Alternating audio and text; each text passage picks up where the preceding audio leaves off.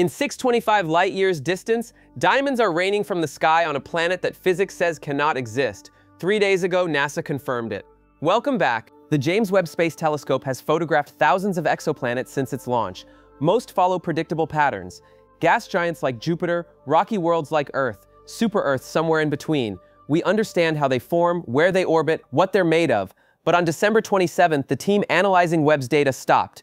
Something was fundamentally wrong with planet PSR J2322-2650b.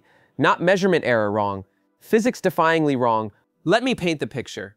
This planet, roughly Jupiter's mass, orbits a pulsar. Not a normal star, a pulsar. Imagine taking our sun 1.4 million kilometers across and crushing it down to the size of Manhattan. 20 kilometers wide, that's a neutron star.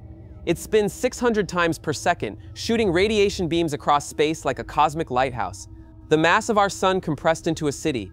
The gravity is so extreme that a teaspoon of its material would weigh 10 million tons on Earth. Now picture a planet trying to survive in that environment. The gravitational forces are literally stretching this world into the shape of a lemon.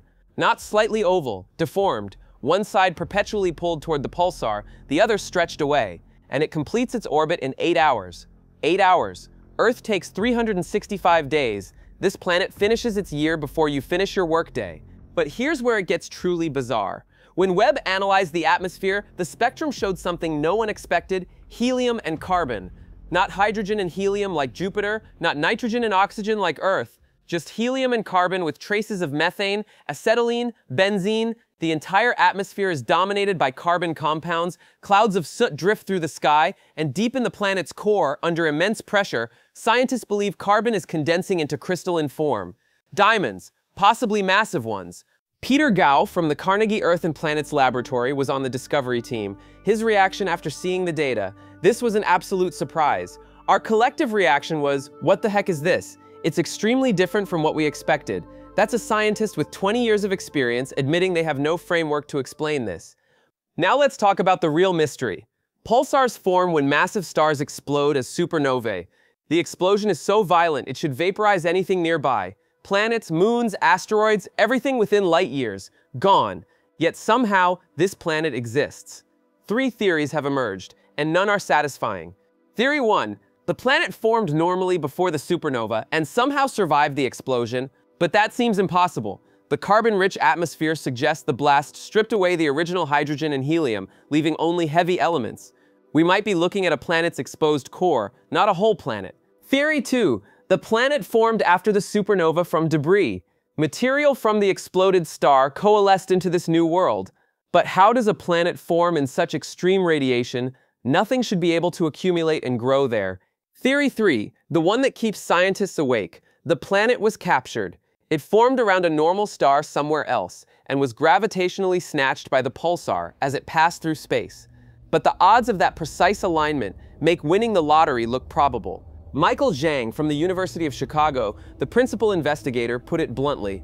The planet orbits a star that's completely bizarre, the mass of the sun but the size of a city. We've studied exoplanets for 30 years. We've found hot Jupiters scorchingly close to their stars. We've found rogue planets drifting through empty space. We've found planets orbiting binary stars, but nothing like this. Here's what makes this discovery profound. This planet survived something that should have destroyed it. Whether it endured a supernova, formed in the aftermath, or was captured, it defied annihilation. Clouds of benzene and acetylene drift through a helium sky, diamonds form in its depths. Radiation levels would sterilize any known life in seconds, yet it endures. What does this mean for planetary systems? If planets can survive supernovae, how many pulsar planets exist undiscovered? If they can form in such extreme environments, what does that say about the resilience of planetary formation itself? And here's the question I want you to consider. If life as we know it cannot exist there, could something else, something adapted to radiation, extreme gravity, an atmosphere of pure carbon? Write in the comments what you think. Did this planet form before or after the supernova? Do you believe we'll find more of these impossible worlds? Webb continues scanning the cosmos, and one thing has become clear, the universe is stranger than our theories predicted. PSR J2322 2650b proves we still have fundamental gaps in our understanding. Perhaps that's exactly what makes this so important. It doesn't just show us something new, it shows us how much we still don't know. Thank you for watching, and remember, when NASA says something is impossible, they usually mean we just haven't figured it out yet. Until next time,